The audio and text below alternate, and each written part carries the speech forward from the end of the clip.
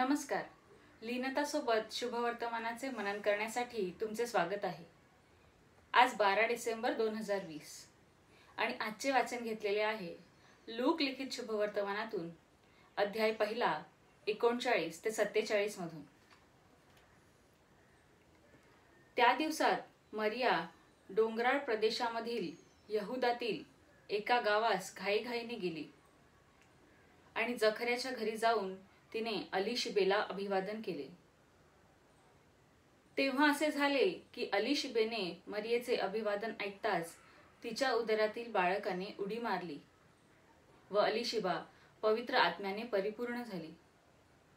आणि ती उच्च स्वर काढून मोठ्याने बोलली स्त्रियांमध्ये तू धन्य व तुझ्या पोटाचे फळ धन्य. माझ्या प्रभूच्या मातेने माझ्याकडे यावे हा मान मला कोठून? पहा तुझ्या अभिवादनाची वाणी माझ्या कानी पडताच माझ्या उदरातील बाळकाने उल्हासाने उडी मारली. जिने विश्वास ठेविला ती धन्य. कारण प्रभूने तिला सांगितलेल्या गोष्टींची पूर्तता होईल. तेव्हा मर्या म्हणाली माझा जीव प्रभूला थोर मानितो. आणि देव जो माझा तारणारा त्याच्यामुळे माझा आत्मा उल्हासला आहे. हा प्रभूचा शब्द आहे.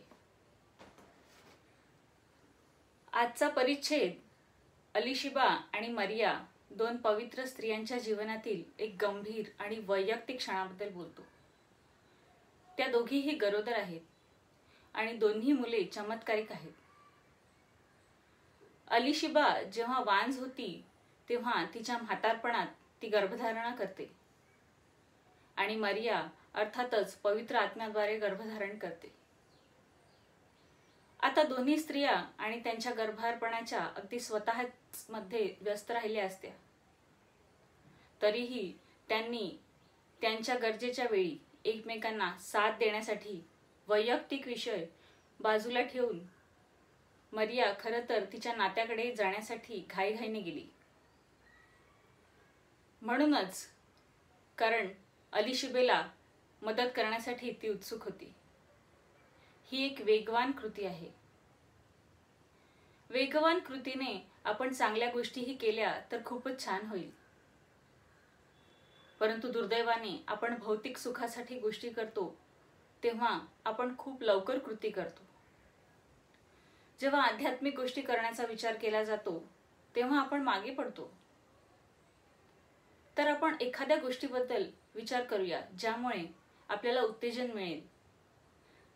ज्याप्रमाणे मरियेने येशूला तिच्या गर्भात स्वतःमध्ये वाहून नेले तसेच आपल्यात सुद्धा प्रभू येशू आहेत.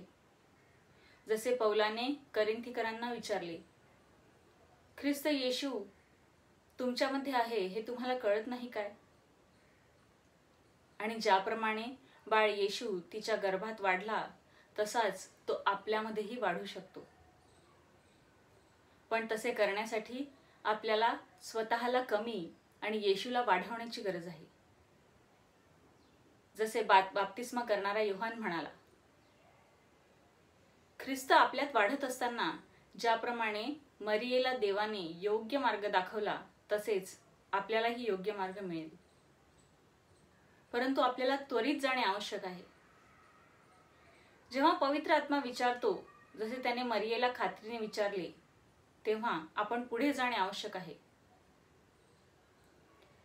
मिलानचे ऑम्ब्रोज एकदा म्हणाले होते पवित्र आत्म्याला विलंब झालेल्या प्रयत्नांची माहितीच नसते. याचा अर्थ असा नाही की आपण नेहमीच आवेगात वागावे. परंतु जेव्हा पवित्र आत्मा जेव्हा जेव्हा आपल्याला एखाद्या गोष्टीकडे वळवण्याचा प्रयत्न करतो आणि असे आपल्याला वाटते आपण लवकर कृती करणे आवश्यक आहे. प्रेषितांनीही केले. पवित्र आत्म्याने त्यांना बऱ्याचदा गोष्टी करण्यापासून रोखले. परंतु जेव्हा त्यांनी कृती करण्यास सांगितले तेव्हा ते वेगाने पुढे आले. आणि याचा परिणाम असा झाला की त्यांचा विश्वास अग्नीसारखा पसरला. देव आज एक नवीन अग्नी प्रज्वलित करीत आहे. आणि त्याचा प्रकाश जगाच्या कान्याकोपऱ्यात पोहोचवण्यासाठी लोकांची गरज आहे. ह्या शुभवर्तमानाचे आता एकवीसहून अधिक भाषांमध्ये अनुवाद केले जातात जे जगभरातील हजारो लोकांपर्यंत पोहोचत आहेत ज्यापैकी बरेच जण इंग्रजी बोलत नाहीत. परंतु अद्याप असे लाखो लोक आहेत जे ख्रिस्ताला ओळखत नाहीत. येशू त्यांच्यापर्यंत कसा पोहोचेल? तुमच्या माध्यमातून. जर आपण एखादी भाषा आम्ही भाषांतर करीत नाही अशी भाषा बोलत असाल तर ते करण्यास स्वयंसेवक म्हणून काम करा. जर आपण तसे केले नाही तर कृपया हे मनन इतरांपर्यंत पोहोचवण्यास सामायिक मदत करा. जरी एक जीव वाचवला गेला तरी तुमचा प्रयत्न फायदेशीर ठरेल. कृपया उशीर करू नका. ही वेगवान कृतीची वेळ आहे. प्रभूचा आशीर्वाद तुम्हा बरोबर